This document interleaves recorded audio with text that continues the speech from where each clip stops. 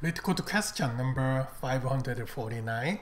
Binary tree, longest conjective sequence.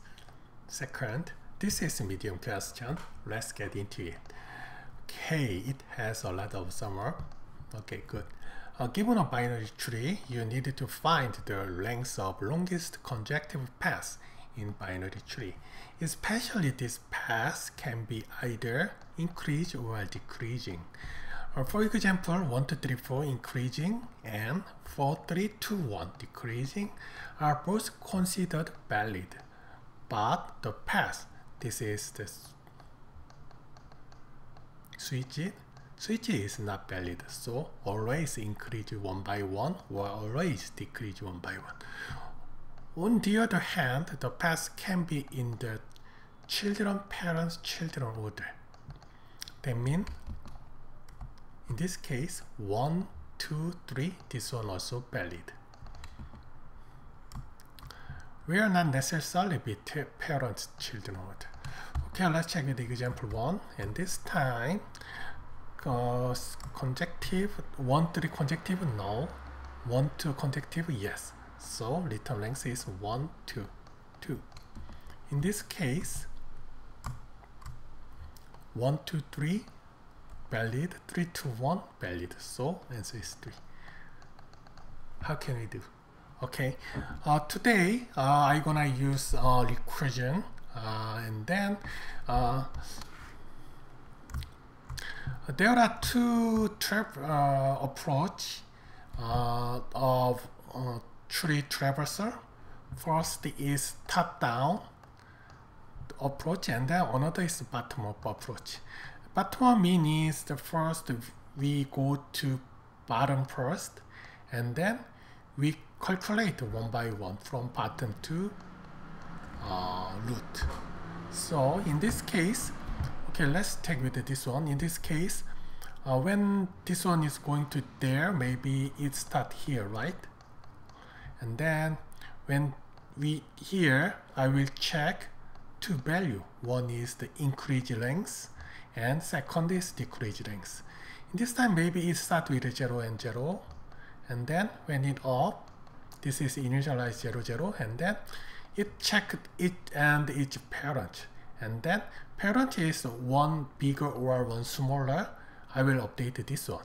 In this case uh, one bigger. So increase length is 1 because it start with 0 and then decrease it still 0 and then same way this one is increase 0 because this is decrease so decrease 1 and then now we are here right?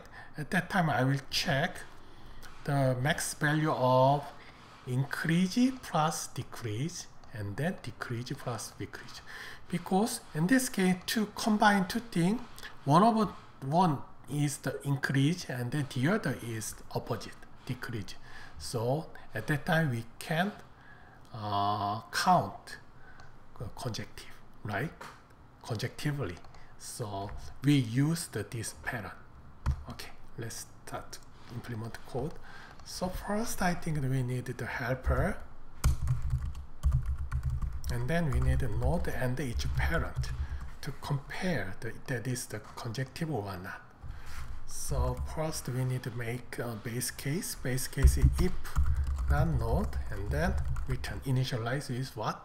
That's right 0 comma 0 so again this is none and then this is the first digit and then this one will return 0 comma 0 and then next to go to the leaf node we needed to recursion relationship. So return value is L increase because this is increase and decrease, right? And increase and then L decrease is helper, node left, and then parent. That's right, itself. Node. Then, okay, let's break. Then we need the global value, so global value, okay. Let me write writers.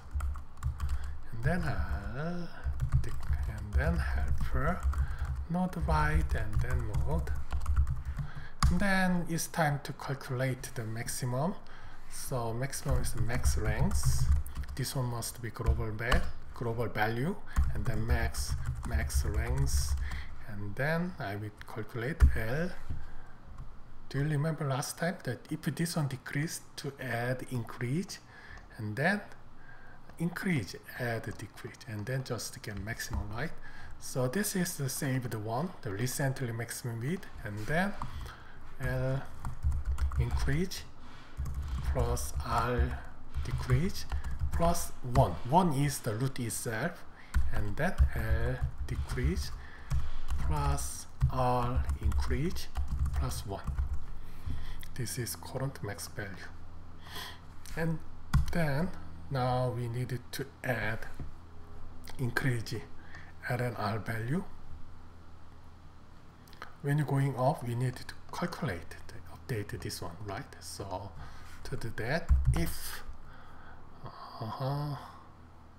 Okay, before that, let assign let's make max variable max length is zero and then maybe we needed to call helper root and then first is none because root parent is none because it doesn't exist right so return max length then to use the global value uh, in a local function use non-local and max length then max length. Does it make sense. So if parent it must be exist to compare current node to parent and then uh, node val plus 1 is same as parent value. That is this one is bigger right? One bigger. And then I like to return. Uh, we get the maximum of increase right? Because we needed to increase the and, in, in, and then uh, increase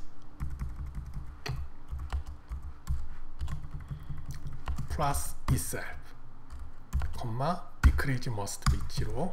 And there's if parent and node val decrease 1 is parent val and then return 0 and max uh L decrease and R decrease plus 1 otherwise we need to reset 0, 0, comma 0 okay let's check the code oh node none okay looks good Oh, 99. Oh, not bad.